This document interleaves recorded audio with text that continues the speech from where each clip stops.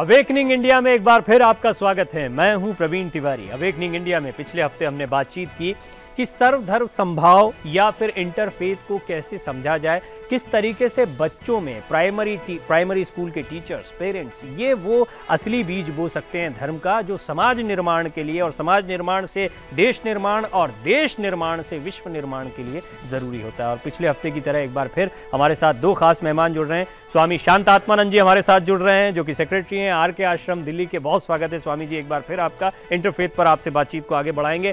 Father M D Thomas हमारे साथ एक बार फिर जुड़ रहे हैं जो कि सर्वधर्म संभाव पर काम भी कर रहे हैं और उन्होंने अपनी विचार पिछली बार भी रखे थे। स्वामी जी जैसा और फादर जैसा हम हर बार करते हैं कि आ, स्वामी विवेकानंद के जीवन की एक कथा को हम दर्शकों के सामने रखते हैं। वो युवा जो इस कार्यक्रम को लगातार देख रहे हैं फॉलो कर रहे हैं वो जब इन कथाओं को देखते हैं तो उन्हें लगता है कि स्वामी जी में ये विचार आखिर आए कैसे थे? कैसे उन्होंने अपने जीवन के अनुभव से इन सब चीज़ों को सीखा? एक सबसे बड़ा गुण था स्वामी विवेकानंद का निडरता। वो निडरता कैसे उनके अंदर आई? ऐसा नहीं था कि उन्हें डर नहीं लगता था, लेकिन जब डर लगता था तो वो उसका डटकर सामना करते थे, उस जगह पर ज़रूर जाते थे जहाँ से वो डरते थे। एक ऐसा ही किस्सा उनके जीवन का हम आपके सामने।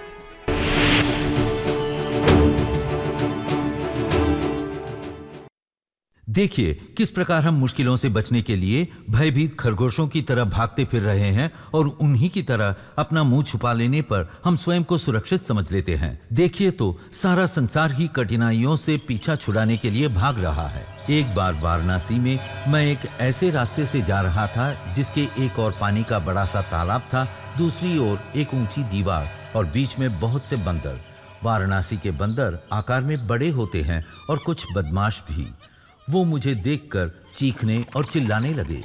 मानो उन्होंने ठान लिया हो कि मुझे पार न जाने देंगे।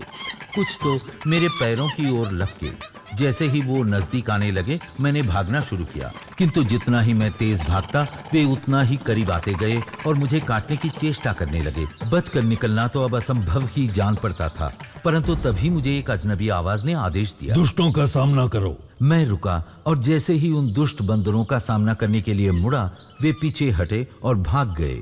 संपूर्ण जीवन के लिए यही एक शिक्षा है। भयानक दुष्टों का वीरता से सामना करो। उन बंदरों की ही तरह हमारे जीवन की सभी समस्याएँ मैदान छोड़ भाग खड़ी होंगी, जब हम उनसे डर कर भागना छोड़ दें। यदि हम मुक्ति चाहते हैं तो ये केवल प्रकृति पर विजय पाकर ही संभव है, उससे भागकर या छिपकर नहीं। कायर कभी विजयी नहीं होते। यदि हम चाहते हैं कि हमारी बाधाएँ, मुश्किलें एवं अज्ञान हमारा रास्ता छोड़ दें तो हमें उनका सामना करना होगा।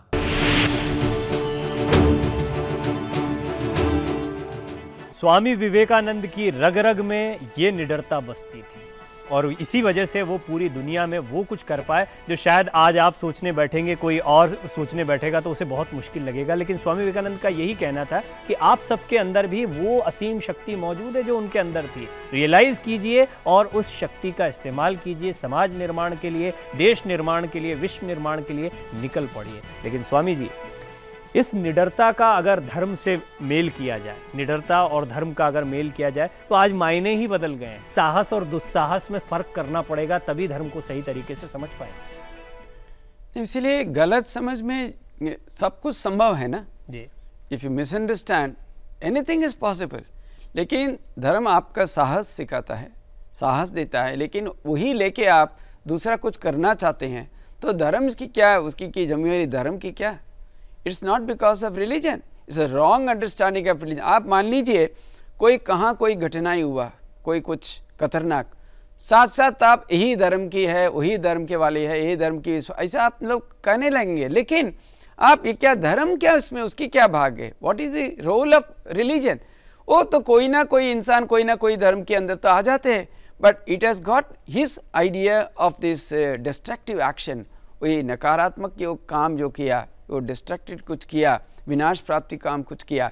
That's not because he was following some religion कि गलत कोई समझाया, वो समझ लिया। उसमें भी आप देखिए, अच्छे से कोई पैसे के लिए, कोई गरीब गरीब को लोग ऐसी ऐसी फैमिली से आया, वो मतलब यहाँ जाके तोड़ दो, पैसा ले लो। तोड़ दिया। वो करें, वही ईसाई का, वही हिंदू का, वही मुस्लिम का। वैसे कोई इसके कोई फ़ायदा नहीं है। सो द रियल बट लेकिन इसकी क्या कुछ व्यवस्था भी तो करना चाहिए। इसीलिए हमेशा यही सब जिन लोग इनके अंदर सद्भाव है, इसकी संख्या बढ़ाना चाहिए। हर एक मौका में, हर एक अपॉर्चुनिटी में हमेशा ये सब क्या होता है, मैं तो कई कितनी जगह पे धर्म सम्मेलन में भाग ले चुका है। इसीलिए हम लोग अलग तरीके एक मिशन में, रामकृष्ण मिशन दिल्ली में 10-11 सितंबर करने के लिए कोशिश किया क्यों? मैं देखता हूँ, हम दस पंद्रह आदमी सब अच्छे पढ़े लिखे आदमी सब जानते हैं। फॉर एग्ज़ाम्पल देखिए फादर तामस वो स्वप्न में भी नहीं दूसरी धर्म के बारे में कुछ नकारात्मक, कुछ नहीं कहेंगे। यही सब आदमी दस पंद्रह बैठ के हम लोग हमेशा ही बातचीत करते हैं। उसके क्या फ़ायदा है? ऐसे सब जब तक आम आदमी तक यही विषय नहीं आप पहुँच पाएँगे, कोई फ़ायदा नहीं होगा। इसीलिए दस ग्यारह से ऐसे हम लोग किया, सिर्फ़ धर्म गुरु नहीं है, हर एक धर्म के फॉलोअर्स के भी, ईसाई का, जैन का इस्लाम का साथ साथ हिंदूज का आपके आश्चर्य होने लग, लगेंगे आपको। एक साथ बैठ के Muslims and Hindus Christians and Hindus Muslim सब एक कट्टे होके खाना खाया, चाय पिया। ऐसे में, मैं बताया, समझना बाद में आएगा। पहले एक दूसरे का, कम से कम कुछ नज़दीक आ जाओ। एक दूसरे के अच्छे इंसान इतना तक समझ लो। सिर्फ़ पहले एक दूसरे के बात सुनने का भी तैयार नहीं है। यही स्थिति से कई सद्भाव, कैसे उद्भव होगा? संभव नहीं है।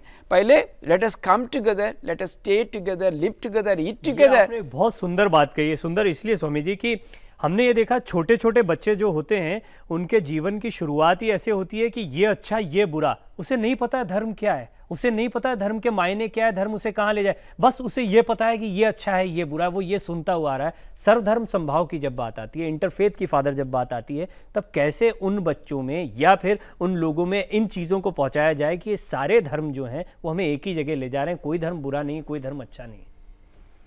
मैं केरल प्रांत में, प्रांत से आया हूँ। केरल के एक श्री नारायण गुरु है, जो बहुत बड़े कवि और चिंतक थे और सर्वधर्म के संदर्भ में भी बहुत ही खास थे। उनका कहना है, मज़हब हो कोई भी, इंसान भला, सो भला। आप किसी भी परंपराओं को माने, किसी भी धर्म समुदाय के सदस्य रहे लेकिन आप अच्छे इंसान नहीं है तो इसका कोई मतलब नहीं है। आप अच्छे इंसान बने, यानी यही धर्म का मकसद है। तो हम अलग अलग परंपराओं परंपराओं में हम पले बढ़े। कोई दिक्कत नहीं है। हम कोई भाषा बोलते हैं, कोई एक विचार विचारधारा को लेकर चलते हैं। उससे, उसको पचाकर, उससे हम फ़ायदा उठाते हुए हम अच्छे इंसान बने। यही धर्म का मकसद है। ये धर्म का, ये ये मकसद बच्चों को सिखाने की ज़रूरत है। जैसे आपने सही बताया, जब बच्चे छोटे हैं वो इनसे कोई मतलब नहीं है कौ, कौन सी भाषा वो भा, भाषा में जो फ़र्क है या धर्म परंपरा में जो फ़र्क है उसे कोई मतलब नहीं है। अब अच्छे बुरे की बात है। अब अच्छा इन अच्छाई की ओर उन्हें प्रवृत्त करें और बुराई से उनको उनको दूर ले जाए। अब यही शिक्षा पद्धति का ये, ये बहुत बड़ी बड़ी इंपॉर्टेंट पॉइंट है। स्वामी जी इसमें आपका सहयोग बहुत ज़रूरी है। धर्म जो होता है वो उसका आवरण इतना बड़ा हो गया उस पर इतनी परतें चढ़ गई हैं कि वो धर्म कहाँ है उसका असली रूप क्या है वो तो भूल गए सब।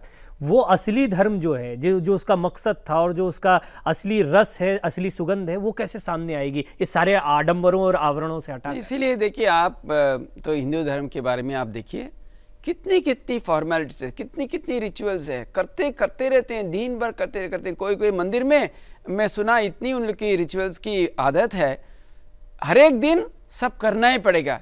क्या आज ठाकुर उठा शाम तीन बजे? तीन बजे उन लोग का they are taking the tooth brush and tooth paste ऐसा सब क्योंकि सिर्फ़ फॉर्मेलिटीज में रिचुअल्स में बदल गए दैट इज़ नॉट दैट इसीलिए religion is the outer core spirituality is the inner kernel ये अंदर जी असली चीज़ है वो आध्यात्मिकता है स्पिरिचुअलिटी है। ये बाहर इतनी आप आवरण देखते हैं इतनी कवरिंग देखते हैं वही सब रिचुअल्स रिलीजन के अंदर आ जाते हैं। सो so, इसीलिए स्वामी विवेकानंद ने बहुत अच्छी तरीके एक डेफिनेशन दिया क्योंकि एक जगह में वो यूनिवर्सल रिलीजन सार्वजनिक धर्म के बारे में भी बातें किया। विश्व धर्म के या ना उसके what is the idea of that universal religion he said इतनी सुंदर एक डेफिनेशन दिया. He said each soul is potentially divine the goal of life is to realise this यही समझना हम सब लोग के अंदर एक देवत्व है एक अच्छी चीज़ है द डिविनिटी है। इसके कैसे हम लोग समझ लेंगे? यही जीवन के उद्देश्य है यही जीवन का लक्ष्य है ऐसा बताया। सो so, इसी whether you take any religion मान लीजिए क्रिश्चियनिटी इस्लाम सब सब तो कहते ही नहीं आप यही मनुष्य है आप एक शरीर है यही मन है इतना तक कोई कही नहीं सकते। इसके ऊपर कुछ है वो विभिन्न धर्म में विभिन्न तरीका इसके आप समझाते हैं। इस पर स्वामी जी एक बहुत अच्छी कहानी भी सुनाते हैं कि कैसे हमारी आँखों पर एक पट्टी होती है अपने धर्म की जिससे हम अपना नज़रिया सीमित रखते हैं अपने धर्म तक। वो मैं चाहूँगा कहानी दर्शकों को ज़रूर बताएँ। बड़ी अच्छी भी है और उससे ये समझ भी इंटरफेस के बारे में वो मैं क्यों कहानी बताता हूँ? सी आप सब धर्म सर्म के सद्भाव की बातें जब करते हैं we forget the other person position ये अपनी जगह कड़ा कड़ा कड़ा के मैं बताऊँगा, समझ में नहीं आएगा। वह जिस जिस, जिन लोग के हम लोग समझाना चाहते हैं, उनकी तरफ़ से क्या विचार है? आप कैसे वो मनुष्य हुआ? वही नहीं, आप भूल गए तो कुछ नहीं होगा। ये होगा एक बहुत छोटी एक बच्चा, मान लीजिए एक लड़की, पाँच साल होगा, वो स्कूल में गया। उसके अंक गणित शिक्षा देने का समय है, टीचर उनको समझाया, देखो आई एम तुम, मैं तुमको एक एप्पल देता हूँ, अभी दो मिनट के बाद फिर एक एप्पल देता हूँ। कितने एप्पल तुम्हारे पास है? कहने तीन। वो तो टीचर तो समस्या में ये क्या इतनी इंटेलिजेंट लड़की है? एक प्लस एक दो नहीं करें? दोबारा पूछा दोबारा सेम आंसर देन टीचर तो इसकी बदल दिया कहा मैं तुम एक को एक एक आ, क्या अंगूर। अंगूर दे दे हाँ, हाँ। और फिर एक मिनट के बाद फिर एक अंगूर देते हैं। क्या अभी कितना अंगूर तुम्हारे पास है? दो। अच्छा टीचर में अंगूर जब कहते हैं वो ठीक कहता है लेकिन एप्पल में क्या समस्या है? फिर मैं अभी पूछता हूँ। आप तुम्हारी मैं एक एप्पल अभी देता हूँ एक मिनट के बाद फिर एक एप्पल देता हूँ तुम्हारे हाथ में तुम्हारे साथ कितना एप्पल है? फिर कहा तीन। टीचर बहुत गुस्सा है तुम बदमाश है तो ज़बरदस्त ऐसे बताते हो तुम जानते हो लेकिन तुम मेरे को इतना अपमान करना चाहते हो। दिन वो लड़की धीरे धीरे कहा मैडम मैडम मेरा एक समस्या है। मैं सब स्कूल जाने के लिए निकाला मेरा मम्मी एक स्कूल बैग में एक एप्पल डाल दिया। इसलिए मेरा तो पहले ही एक एप्पल है। तो सब मिलके तीन है मेरे पास। सी लेकिन एक बहुत छोटी कहानी है लेकिन इसके अंदर बहुत बहुत, बहुत मैसेज है क्योंकि when we try to approach others दूसरे के मैं जाते हूँ कुछ समझाने के लिए बिल्कुल ही ध्यान नहीं रखते हो उनकी क्या आदत है उनका क्या हेरिटेज है उनका क्या शिक्षा प्राप्त करके वो बड़ा हुआ। वही आप बिल्कुल भूल जाती हैं। वॉट एवर यू टीच भूल भी जाते हैं और दूसरा समझना भी नहीं चाहते हैं। इंटरफेथ को अगर समझना है और ये सरधर संभाव वाकई दुनिया में लाना है तो आपको दूसरे धर्मों का सिर्फ़ सम्मान नहीं करना। उसको जब समझेंगे तो अपने आप वो सम्मान पैदा होगा। जब आप ये जानेंगे कि ये धर्म भी इन्हें वहीं ले जा रहा है जहाँ आपका धर्म आपको ले जा रहा है। एक छोटा सा ब्रेक लेना है। इस बातचीत को हम आगे बढ़ाएँगे। अवेकनिंग इंडिया जारी है एक ब्रेक के बाद भी लेकिन ब्रेक पर जाने से पहले हमेशा की तरह स्वामी जी का एक सशक्त विचार।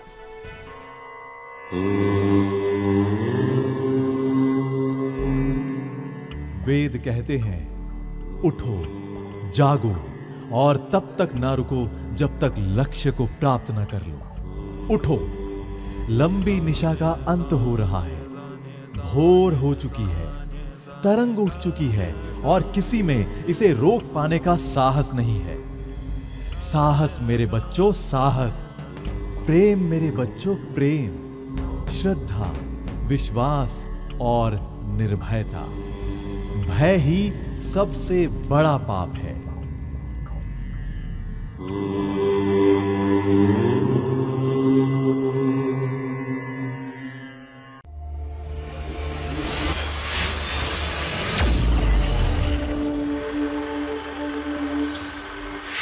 फ़िल्मों का वो दौर, जिसने भारतीय सिनेमा को एक नई पहचान दी।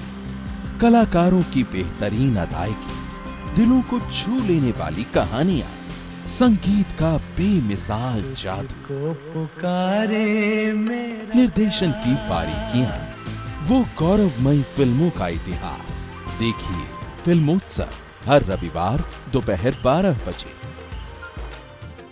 सिर्फ़ डी नेशनल पर।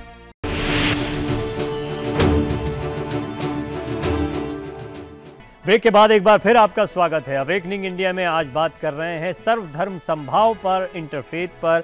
फादर एम डी थॉमस और स्वामी शांत आत्मानंद जी हमारे साथ लगे लगातार बने हुए फादर जैसा ब्रेक से पहले एक बहुत ही अच्छी कथा सुनाई स्वामी जी ने और बताया कि हमारी आँखों पर एक पट्टी होती है, बहुत मोटा आवरण है और हम बचपन से सीखते हैं कि मैं हिंदू, मैं मुसलमान, मैं ईसाई, मैं सिख और बाकी सब जो है वो मुझे नहीं समझना। मैं सर्वश्रेष्ठ सर्वश्रेष्ठ होने का आ, की अनुभूति में कोई बुराई नहीं है। लेकिन ये सर्वश्रेष्ठ जब दूसरे को नीचा दिखाने के लिए होता है तब परेशानी शुरू होती है। क्या आपको लगता है कि शुरुआत से ही इसको बेहतर तरीके से समझने की ज़रूरत है और वो तरीका क्या बिल्कुल। स्वामी जी की ये कहानी बहुत ही सार्थक है। तो ये इस कहानी के माध्यम से जो हमें जो संदेश मिलता है वो जैसे आपने अभी बताया बचपन से बच्चों को समझाने की ज़रूरत है। एक तो जो अपने पास जो है वही सब कुछ है। दूसरे के पास जो कुछ है वो तो उसे कोई मतलब नहीं है या गलत है। ये सोच सबसे बड़ी गलत फहमी है। धर्म के क्षेत्र में इतनी बड़ी गलत फहमी वा, वास्तव में दुखद है। धर्म असल में एक सीढ़ी है। इस सीढ़ी से चढ़ते चढ़ते अध्यात्म की ओर जाने की ज़रूरत है। वो अध्यात्म की जाने की ओर जाने की बात दूर की बात है। लेकिन इस पूर्वाग्रह में फंसे रहते हैं मेरे पास जो है जैसे कुएँ में पढ़े मेंढक के समान बन जाते हैं। ये धर्म का एक प्रकार से अधर्म बनाते हैं बात का बतंगड़ बनाते हैं इसके बराबर है। ज़रूरत इस बात की है बच्चों को यानी ये ये इस प्रकार के जो आडंबर है जो अनुष्ठान है जो कर्मकांड है आदि की बात बारीकियों को धर्मगुरु सभी दवी धर्म के धर्मगुरु समझाते हैं सिखाते हैं। लेकिन उससे ज़्यादा ज़रूरत इस बात पर है कि वो धर्म के मूल्यों को समझाएँ और अपने पीस, साथ अपने भीतर जो अच्छाई है, उसी प्रकार दूसरे के भीतर भी अच्छाई है। निर्माण एक शब्द में कहा जाता है। चारित्रिक निर्माण की और उसको सशक्त, उसको मज़बूत बनाने की ज़रूरत होती है, जो ये इन रिचुअल्स में कोई बुराई नहीं है। इनका अनुष्ठानों का प्रयोग होना चाहिए, ये भी सिखाया जाना चाहिए, लेकिन उसका जो असली मकसद है, वो चारित्रिक निर्माण क्या वो हो पा रहा है, इस पर नज़र रखने की ज़्यादा ज़रूरत है। और जैसे आप आपसे बात हो रही है तो दो धर्म गुरु तो मेरे साथ मौजूद हैं, एक और धर्म गुरु हैं, वो भी, उन्होंने भी अपना मैसेज अवेकनिंग इंडिया के लिए भेजा है। ऑल इंडिया इमाम ऑर्गेनाइजेशन के प्रेसिडेंट हैं इमाम उमर अहमद इलियासी साहब, वो इस मसले पर इंटरफेथ के बारे में क्या कहते हैं, वो भी हम आपको सुनवाते हैं।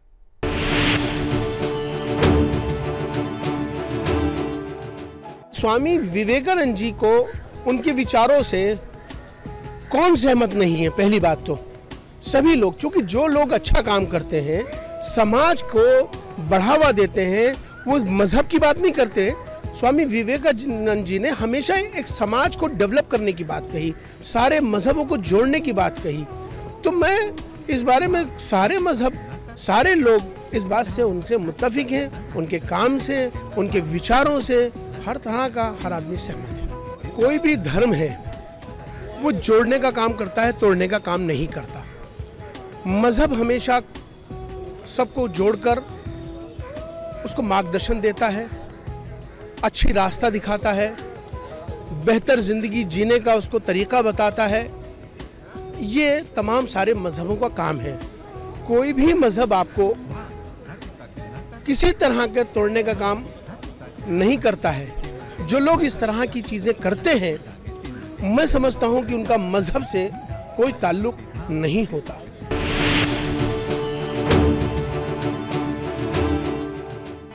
इमाम साहब ने बहुत ही खूबसूरत बात कही।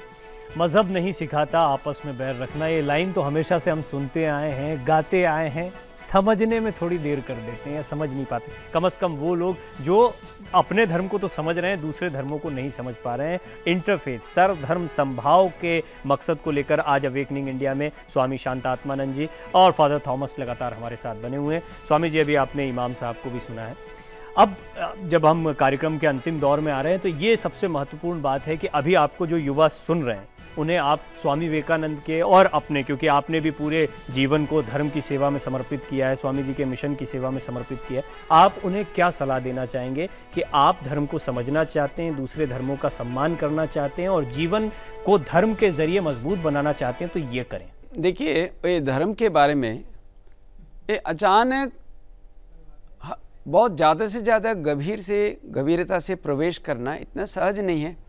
ये सब आप भी कई जगह पे देखेंगे, जहाँ जहाँ रिचुअल्स होता है, वही ज़्यादा से ज़्यादा लोग जमावट होता है। इवन अच्छे अच्छे पढ़े लिखा आदमी भी बैठ बैठ के आप बोलिए, एक अच्छे लेक्चर सुनिए उसके बारे में कुछ कहा नहीं। आप बोलिए, यहाँ कुछ यज्ञ कीजिए, कुछ रिचुअल कीजिए लाखों लाखों लोग आ जाते So there is a fundamental problem. People, those who are intelligent, those who are very bright also, they are not able to give so much time or they are not willing to really explore this idea which is so important. इसके लिए मैं क्या कहता हूँ ठीक है धीरे धीरे आप पहले उसकी दूसरी तरीके समझाइए let us not directly bring religion into that आप अच्छे इंसान बनो अच्छा what is the idea of success आप जीवन में सक्सेस कैसे आप विजय कैसे प्राप्त हो सकता है आपका यही सब लेके there are various ways in we can make them understand क्योंकि आप ये अच्छा रहने के लिए आप दूसरी के अच्छे बनाना क्यों ज़रूरत है? Like there in several ways slowly bring them round पहले इतना तक समझना that we should live in a harmonious way दूसरी की तरह अच्छा रहना।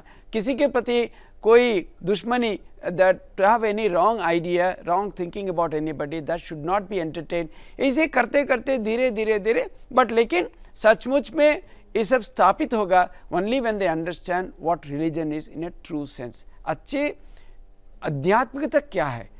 तब तक इसके बारे में अवगत नहीं होते हैं। It is impossible for people to really live in harmony that way इस इस तरफ़ ले जाने के लिए आप क्या सलाह देंगे कि इस इस दिशा में समस्या तो समझ गए इसका समाधान ऐसे हो सकता है? सी धर्म परंपराएँ अलग अलग है विविध है उनको विविध रहना ही भी चाहिए। लेकिन उसके भीतर जो अच्छाई है उसको ग्रहण करते हुए अध्यात्म की ओर जाने की ज़रूरत है, जिससे पूर्वाग्रह से हम दूर हो जाते हैं और एक दूसरे के करीब आने के आने के लिए सुविधा मिलती है। प्रकृति में एक जीव है, जो बहुत ही प्रेरणादायक है सबके लिए, जिसका नाम मधुमक्खी है। वो सैकड़ों फूलों में जाकर मकरंद को इस प्रकार ग्रहण करते करते और ये अपने छत्ते में शहद इकट्ठा करते हैं। जिसका कोई तुल, कोई तुलना सारी दुनिया में कोई चीज़ नहीं है। जो बीमार आदमी को भी स्वच्छ, स्वस्थ बना देता है, इस प्रकार की चीज़ है। मधुमक्खी के ये भाव है सर्व ग्राहिता है। गुण जहाँ कहीं भी है, उसको अपनाएँ और अपने भीतर अच्छाई होगी। धर्म का मकसद भी बस यही है, शिक्षा का मकसद भी यही है और ये आध्यात्मिक दृष्टि है। इस आध्यात्मिक दृष्टि के लिए भारत तो मशहूर है ही उस वो जहाँ कहीं भी हम पिछड़ गए हैं वो एक से एक एक बार फिर अलग अलग समुदाय के जो लोग जो धर्म को गहराई से समझते हैं वो एक दूसरे के करीब आए और इस आध्यात्मिक दृष्टि को मधुमक्खी से प्रेरणा लेकर विकसित करें आपने मुझे एक बहुत इंपॉर्टेंट पॉइंट दिया है कि मैं स्वामी जी के सामने एक सवाल रखूँ। भारत विश्व गुरु है धर्म को समझाने के मामले में ये स्वामी विवेकानंद बहुत पहले कह चुके हैं और हम होंगे। मतलब हमारी जिम्मेदारियाँ क्या ज़्यादा हैं? भारत की जिम्मेदारियाँ ज़्यादा ज़रूर।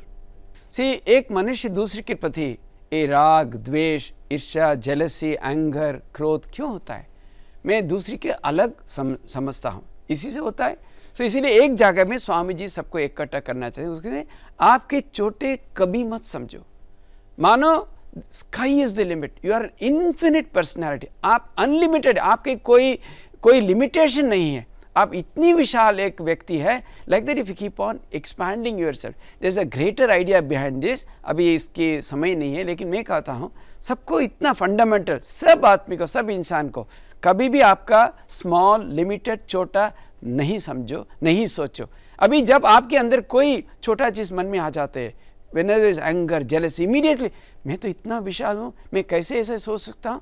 तुरंत there is a possibility of a change that is a beginning that is a beginning for हर एक तरीका सद्भाव का यही शुरुआत है। आदमी हर एक इंसान अपना के बारे में you should start thinking in a bigger and bigger and bigger way मैं बड़ा हूँ, मैं छोटा नहीं हूँ, मेरा अंदर यही सब बाप कभी नहीं हो सकती। राग, द्वेष, ये सब जलसी नहीं हो सकता है। That is the beginning that is the small beginning to develop a great inter with harmony in course of time और आखिरी आपका भी कमेंट चाहूँगा इसी बात पर।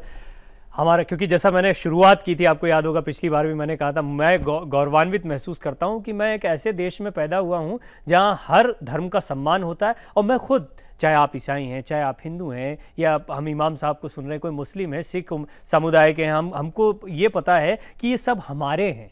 हम इनके हैं जो आप कह रहे हैं कि वो नज़रिया होना चाहिए। कम अज़ कम ये चीज़ तो हिंदुस्तानियों में होती है। ऐसे में क्या हमारी ग्रेटर रिस्पॉन्सिबिलिटीज़ हैं और हम हमें वाकई गौरवान्वित होना चाहिए दुनिया में? मुझे याद है ये विश्व स्तर के जो चिंतक बर्नर शो ने एक बार कहा था यदि आप वास्तव में ए, ए, कुछ करना चाहें तो आपका कोई धर्म होना चाहिए। इनका मतलब ये नहीं है आप किसी प्रकार, किसी सिद्धांत को माने या धर्म अनुष्ठान में लगे रहें। उनका मतलब सिर्फ़ ये था, अपने धर्म से प्रेरणा ले, अपना धर्म, अपना विश्वास, अपनी आस्था आपको प्रेरणा दे। प्रेरणा इसलिए इसके लिए है कि दूसरे से जुड़ जाए दूसरे को समझें और इस प्रकार समाज का सृजन करें देश का दे, देश को निर्माण करें और इंसानियत की गरिमा को बढ़ाएँ। वो अपने अपनी परंपरा से हम जहाँ कहीं भी उसे प्रेरणा लेकर हम ये दस कदम भले ही ना हो दो कदम आगे बढ़ें। दूसरे के दूसरे इंसान की ओर अपने भाई समझकर अपने बहन समझकर समझकर अपने साथी और सहेली समझकर इस पर एक दूसरे के करीब आए। इस पर बड़ी धर्म सभाएँ हो सकती हैं इस पर बहुत लंबी बहस हो सकती है लेकिन सार यही निकल कर आएगा जो अभी आप लोगों ने कहा है। एक दूसरे को समझें, सर्वधर्म संभाव के, ये बहुत सिंपल मायने हैं। और इसे बहुत सहजता से आप लोगों ने समझाने की कोशिश की। बहुत शुक्रिया स्वामी जी आपका, फादर आपका भी बहुत शुक्रिया। अवेकनिंग इंडिया में आज का सफ़र यहीं तक। अगले हफ़्ते एक नए विषय के साथ जो स्वामी जी ने विचार हमारे सामने रखे हैं, भारत जागरण के लिए एक ऐसे ही नए विचार के साथ आपके सामने प्रस्तुत होंगे। लेकिन जाने से पहले हमेशा की तरह आपसे एक गुजारिश, अपने सुझाव हम तक पहुंचाते रहें। कार्यक्रम आपको कैसा लग रहा है? आप कार्यक्रम में नया क्या देखना चाहते हैं? Awakening India dot D D at gmail dot com awakening India dot D D at gmail dot com ये हमारा ईमेल एड्रेस है। ईमेल करें, सुझाव भेजते रहें। आज के लिए हम सभी को इजाज़त दीजिए। नमस्कार। मनुष्य सत्य चाहता है। वह सत्य का स्वयं अनुभव करना चाहता है और जब वह सत्य की धारणा कर लेता है, अपने अंतकरण में उसका अनुभव कर लेता है। वेदों के अनुसार तभी उसके सारे संदेह दूर होते हैं। तमोजाल छिन्न भिन्न हो जाता है और सारी वक्रता सीधी हो जाती है।